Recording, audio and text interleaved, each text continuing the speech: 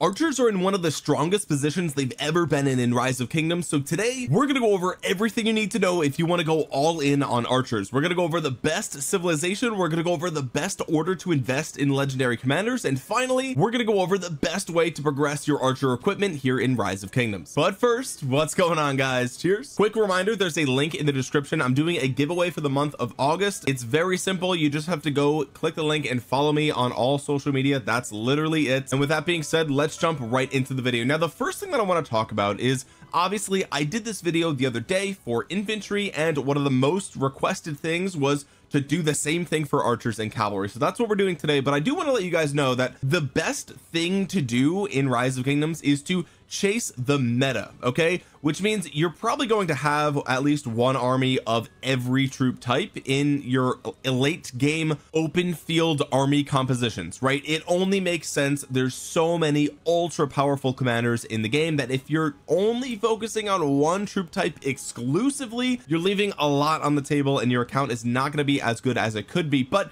in this video we are focusing on players who want to mainly have a majority of archer marches okay? So by that I mean you know in the late game you want to have maybe two or three really strong archer marches and then maybe one of each infantry and cavalry. So that's what we're going to do in this video. And the first thing we're going to start with is your civilization. And right now I am actually playing as the best civilization for archers. Now this Ottoman Empire civilization is really good for PvP if you are in between kvks and there's a lot of downtime then again I recommend Germany. I said this in my infantry video but this gives you 10% action point recovery which is very important for free-to-play players and new players as well who really have to grind out barbarians for events to get their hands on you know arrows of resistance to destroy all the forts for the books of the covenant or even just to participate in like holiday events things like that. Uh, the action point recovery is super super valuable for free-to-play players but once you are in late game PvP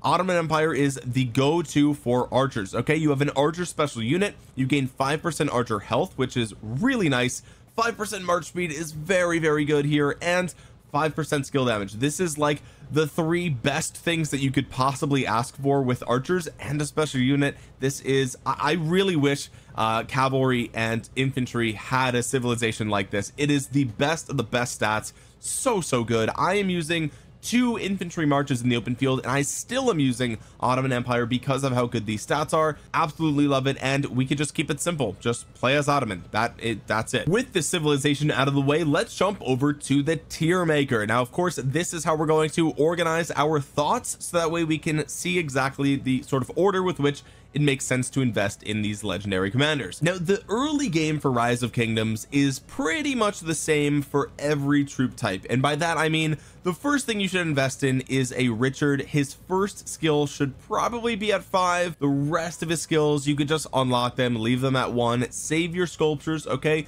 You really only need 10 sculptures to summon Richard and then I think 50 sculptures to get that first skill to five that's going to give you a really nice healing factor and he's going to be pretty tanky for a lot of the PvE content. The reason that you want this is because he is what's going to help you chain barbarians out in the world with your Yi Seong-Gye or Zhuge Liang that's a little spoiler right there uh, but I think you all expected both of those commanders in this video. And also you can use him for things like Sunset Canyon Lost Canyon uh, basically anywhere that you need a tank. Having a very cheap budget build for Richard is probably going to pay off in the long run. After that Yi Seong-Gye okay? I think as an archer main you probably want to expertise Yi Seong-Gye I think this is a no-brainer especially if you are ultra ultra active as a free-to-play player. If you can expertise him in just a couple of months after starting the game as free to play of course the whales can do it much faster than that. But Yi Seong-Gye continues to be super valuable in rise of kingdoms because of his vanilla circular aoe massive bonus to skill damage as well for anybody that he's in a pair with. It's incredible. So I highly recommend that. And then unfortunately that's pretty much all that you can do until you reach kvk 3 I think the kvk 2 commanders like Tomyris and like Edward of Woodstock not worth investing in okay? Uh, you can get a 5115 Tomyris and that does help in niche roles in late game with swarming things down especially swarming in Ark of Osiris and also swarming in uh, you know flags and kvk but realistically if you're watching this you're probably a free-to-play player. You're probably not swarming flags. I don't suspect that you would be doing that. Maybe you are maybe you're crazy maybe you're giga chad okay? It's probably not the best place to put your sculptures and also getting a 5115 as free to play without any talent resets is really quite difficult. So I'm gonna say Tomyris probably a pass also definitely pass on Edward of Woodstock and then that really doesn't leave you with anything until kvk 3 uh, I mean you have Thutmose and honestly I think Thutmose is slept on. I think he's actually very very well rounded especially with his relic in the late game but he's a gold key commander and you're going to get sculptures of him for free over time but it's going to be really slow. So by the time that he's usable he's you're going to be in season uh three of kvk or beyond anyway. So don't spend your sculptures here either just hoard everything after your ysg and save them until kvk 3 that's going to be about eight seven to nine months into your kingdom's lifespan. That's when you'll hit kvk 3 and you can start to invest in some of the even more powerful legendaries. Once you hit kvk 3 Zhuge is probably the number one thing that you want to focus on okay? And the reason for this is because I think this is probably the strongest commander in the game right now. He is insanely good five target circular AoE 2000 damage factor and a massive debuff to all five targets for three seconds. They deal 15 percent less damage. Unbelievable first skill. Unbelievable second skill 30 percent health 5 percent archer damage and a 50 percent chance to negate control effects and also deal an instant proc damage to the attacking troop with only a five second cooldown. So anytime you get silenced by those Guan Yus there's a 50 percent chance you're actually just gonna shrug it off and deal 500 damage to the Guan Yu. Crazy stuff there. Now for the last two skills now let me actually before I say that uh, you probably want to expertise Zhuge Liang okay? So if you hoard all your sculptures until kvk 3 there's two routes you can go. The first one is just expertise him. It makes sense. Then you would do Zhuge Liang primary with Yi Seong-Gye secondary and that just works okay? Uh, it's a very slow march so please keep that in mind. It's very slow but the damage output is absolutely like think of it as a it's a really slow glass cannon okay? Uh it's it's got a little bit of tankiness on here and also on the relic for ysg uh the relic is very good. You get 20 percent defense five percent skill damage. Really great stuff there. Definitely unlock that as soon as you can. But uh it's a really slow march but it's so so good okay so the first route you could do is expertise in Zhuge Liang. Uh, the second route you could go is try to get a 5515 Zhuge Liang. Uh, I think that's probably better than 5551 in my opinion okay? And see what happens. If you can get that that's great. Eventually you'll want to come back around and expertise him but for your first entry into kvk 3 if you could skip this third skill and use those sculptures on something else that might be that might come in clutch. It might actually come in clutch not a bad skill. You get 20 percent skill damage okay? And there's also a 10 percent chance of 50 percent attack for three seconds. So this is actually a really nice skill to have in the open field but even just having it at one you do get five percent skill damage and a 25 percent archer attack increase. So you're just just by unlocking this you're getting half the value of the archer buff which is nice. No points required. The skill damage lacking is unfortunate. Uh, I do prefer it at 20 but when you think about how many sculptures it costs to get this skill to five if you are able to get this one to five uh, it's like 310 sculptures to finish the last skill. It's a kind of insane. So if you want to try to save sculptures you could try to skip this get the fourth skill to five which gives you 10 percent bonus damage with the marquee effect. And also when you consume the marquee effect then you're going to deal 1500 damage factor to three targets in a forward facing fan shaped area. That's basically a second active skill. It's actually insane. So really powerful stuff here uh, the expertise here does make you start the battle with the marquee effect which means your first skill cycle is going to be a double aoe which is why he's so powerful. And also you're going to gain extra rage which is just amazing right? So he's got a good expertise as well. I think the expertise here is worth it but it's up to you if you want to go all in on expertise first and pair him with ysg or if you want to try the budget build uh you could save 310 sculptures and then go to Boudica okay I think 5551 Boudica is all you need especially if you're free to play. I think that is a good place to stop okay? This last skill doesn't really do that much in the open field and the expertise is not nearly as good as it once was okay? In a world before Zhuge Liang was in the game this was way more valuable because it was like the number one way to remove control effects but now you have it for free on the second skill. Yes it's going to occur less frequently at 50 percent compared to 80 percent but I mean you I guys again this last skill is going to take 310 sculptures to max out in order to unlock this expertise. I don't think it's worth it when you have it right here. I mean it's perfectly fine the way it is okay? So the first thing you want to invest in is Zhuge and again this Richard is for PvE content so he's going to go down here. You invest in Zhuge either to 5515 or expertise. You pair him with YSG if you actually do the 5515 Zhuge and you put the rest of your sculptures into Boudica to get her to 5551 then you could do uh, this pair like that uh, and your YSG basically sits on the bench for your first kvk3 okay? That's kind of how I'm looking at this from my mind. Uh, this just makes the most sense. You know obviously you could swap out the Boudica and YSG here like depending on the scenario right? If you're just jumping out of your city uh, and attacking players on defense then maybe you want to um, keep the Boudica in the city and just do the double or really it's triple AoE right uh, because you have the double AoE on uh, the first the primary skill and the fourth skill on Zhuge Liang and also the AoE on YSG so triple AoE here which is just insanity. But again for like farther away fights uh, the march speed on Boudica is going to be nice. The debuff on Boudica is insane. The enemy has a march speed debuff as well. It's so so good this combination. This is probably the best open field pairing in the game right now in my opinion. Nevsky Joan comes close for sure but really really excellent stuff here. If you do go the route of expertising Zhuge Liang uh, you still will then go for Boudica 5551 after. It's just going to take a little bit longer. So keep that in mind.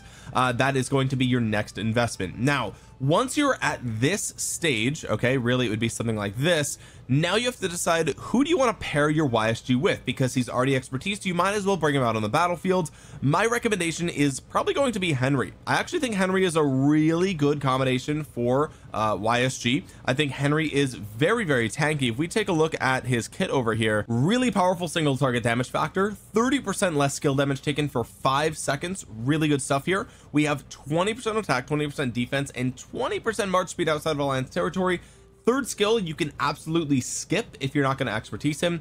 Fourth skill gives you 10% archer damage and a 10% chance to instant proc 800 damage to someone who's hitting you with a five second cooldown. Now here is my dilemma okay? Um I think a lot of the tankiness from Henry comes from the support tree and also the expertise. And that's really unfortunate okay? Because I mean it's just the reality. It really is. Uh yeah there's some skill damage taken reduction on the active skill. Sure that's fine. That's great but really the tankiness comes from the expertise. Uh and so it's kind it's really rough. I hate telling free-to-play players to expertise a commander like Henry because he's a conquering commander and you're never going to be rallying with him right?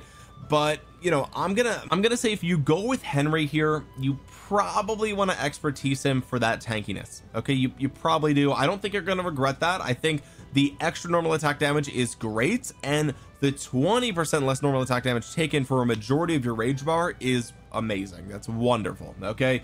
Uh, if you really hate the idea of expertising Henry then you probably want to actually consider getting Nebu instead skipping Nebu's expertise is something that I can get behind 100% because I've actually done it. And before Boudica came into the game I was running Nebu with YSG that was my tried and true combination for archers and it worked really really well. We have a five target 1500 damage factor AoE it's a little bit lacking. It's a little bit vanilla these days but it's still a really nice damage factor. It also again gets 50 percent skill damage actually 55 percent skill damage bonus from YSG if he has the relic here we get 30 percent defense 15 percent march speed. Not conditional by the way. You just get this march speed all the time no matter what. Skip the third skill and on the fourth skill you get 15 percent bonus damage and a 10 percent chance to reduce the target's rage by a hundred. So really nice rage debuff here. Uh, again Nebu is just a vanilla AoE stat stick and he has more defense than uh, Henry but he has less total stats okay? Obviously Henry has 20 percent attack 20 percent defense.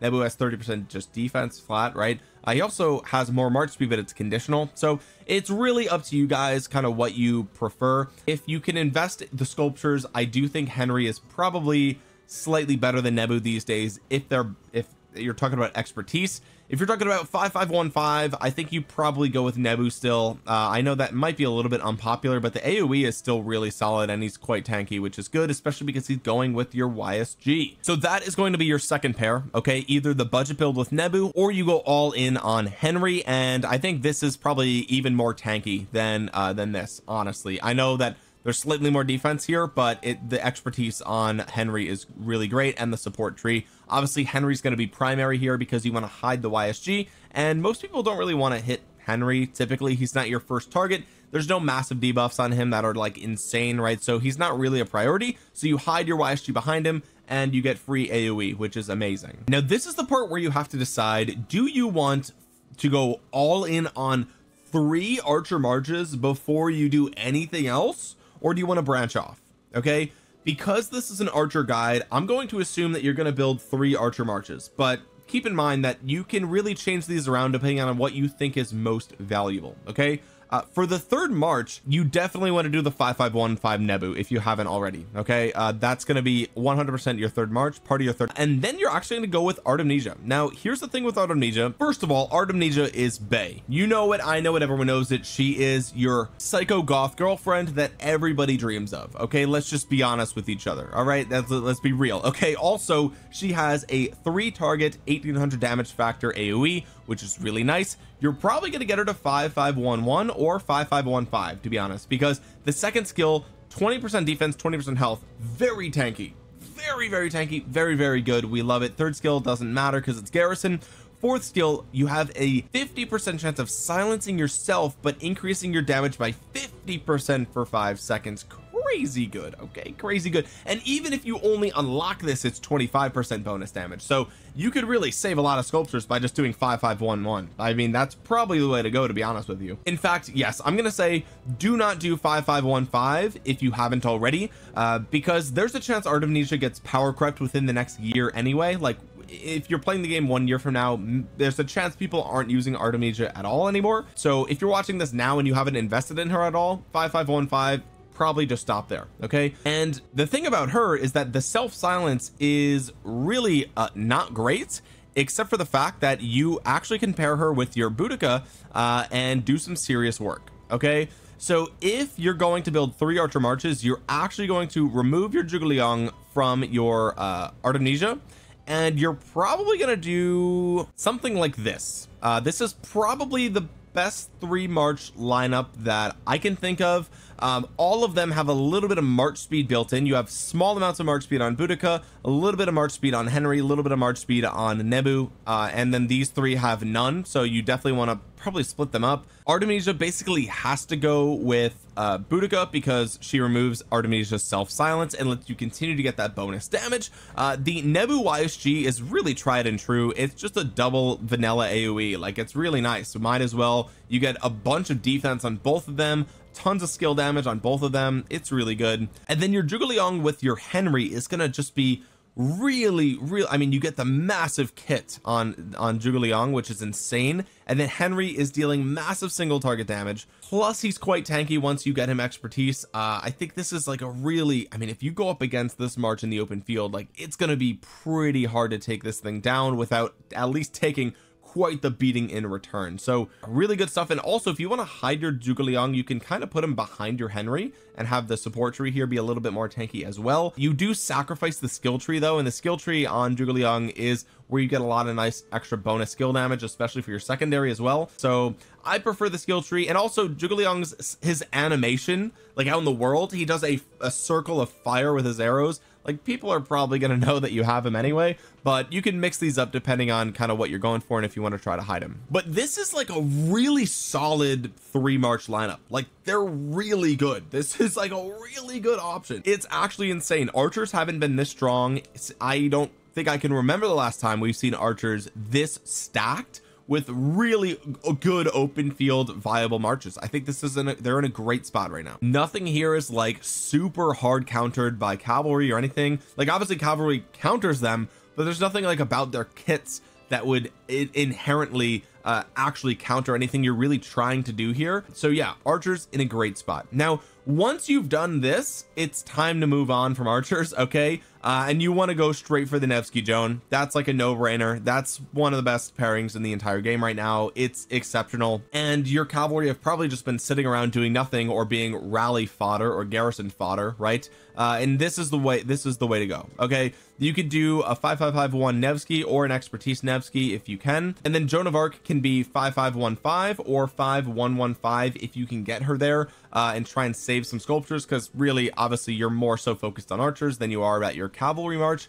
So for a budget build 5115 for Joan is insane right if you can get it. Um, if not 5515 is probably really good. You could stop there for sure. Definitely don't need to expertise Joan at least not as a archer player. Or if you're a whale then yeah definitely expertise her. I did. I don't regret it. I think she's great and then eventually you'll build uh an infantry march. I know shocking right? We're finally getting around to infantry. Now there's two marches that you could build. I think most people say Guan Scipio is the way to go and I think if you have that that's fine. Like you're good. You're you're you're you've got double AoE you've got a silence you got a health debuff on Scipio it's like this is a a perfect combo right but I think right now you could actually toy with not even investing in Guan right? Because really you would want to expertise Scipio and Guan you would want 5155 but it's really hard to get 5155 like the skill distribution is really hard to achieve. And if you want to just avoid that uh you could do a 5551 Sargon or a 5550 Sargon and put him behind your Scipio uh, I think what this does is obviously it removes some AoE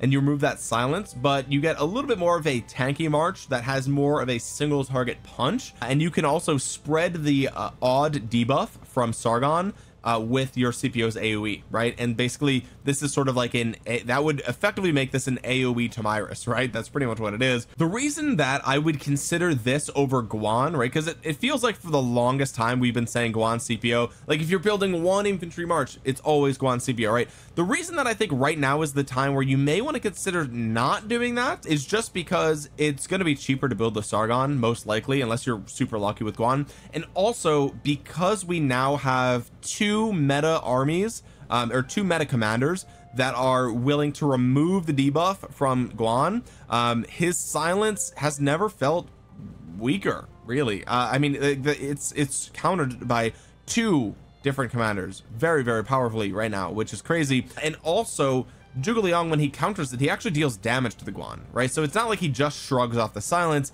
He shrugs it off and deals 500 damage factor right? So it's it's kind of unfortunate the situation Guan is in. Is he still good? Yes. Do I still use him in kvk yes. I think he's he's fine right? Uh, but you could make the you could make the argument that a Sargon is easier to build um, potentially cheaper because of it and also um, Guan kind of has one foot out the door so I mean you could kind of just future proof your lineup and go for Sargon instead and just give up on the actual double AoE. And that's pretty much it. Now the only other thing I'll say is that um, if you don't want to go for your Nebu and you get mega lucky from gold keys you could maybe slap the relic on your Thutmose and have a super cheap third build here and saving the sculptures for uh, Nebu it's unlikely that this would happen and it's also kind of a target. Like a lot of times people see Thutmose and they're like oh that's probably like a weak player. If you did do that you could probably do something like this instead. Just kind of hide that Thutmose right? Uh and he, I mean he'll do great with Zhuge Liang regardless and then you get uh, basically this this pairing back which we talked about earlier. That's another thing you could do. I think again you get a small AoE on him. You get some march speed here. You get some attack. You get some bonus damage 15 percent outside of alliance territory which is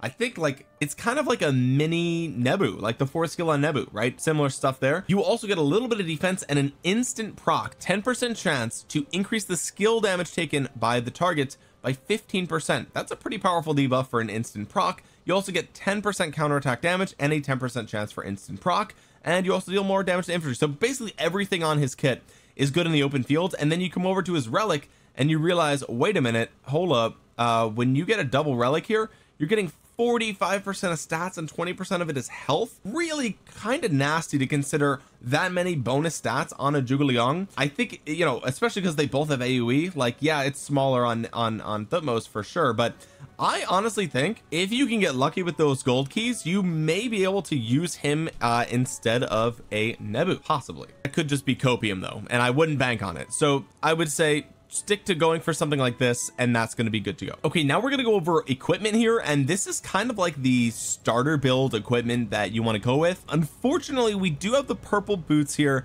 uh, that's going to be probably the hardest thing to get and honestly the reason for that is because the only other boots that you could really even consider are the sturdy boots right? Because the archer attack here is not great. You could just literally go for gray sturdy boots until you get your flame treads. That's pretty much all you could try for. Uh, there's like nothing else sort of in between that you can get. Edged boots are not great so yeah you're kind of stuck with this as a beginner's build even though it is got one purple piece but you have a nice spread here of defense and health which is really nice moving forward you're going to replace these pieces with all purple okay? The reason that archers are so great in the open field for free to play players is that well, one of the reasons is that they have what is a epic set here okay? This is a set. You get bonuses three percent attack three percent defense if you have at least four pieces. So unfortunately you actually lose total health here but you gain a bunch more stats okay? You have a ton of defense and a really nice chunk of attack as well. This is a really really solid build. And then finally um, I would recommend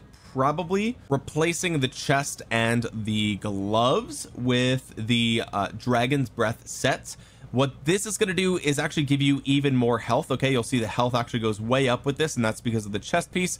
Unfortunately replacing the gloves doesn't do much but it does give you the two set bonus. So you want to replace the chest first then the gloves uh, really at the same time if you can uh, but you know afterwards for the gloves for sure. Then you also get to keep the set bonus here by keeping the helmet and the legs um, from the revival set which gives you a little bit more attack as well. And overall this is kind of like I mean once you get this you don't really need to change that much else. This is kind of a really solid build. Honestly you might consider replacing the golden age after you've done the chest and the gloves because at least no matter which one you get it is definitely an improvement even if you don't get the special talent.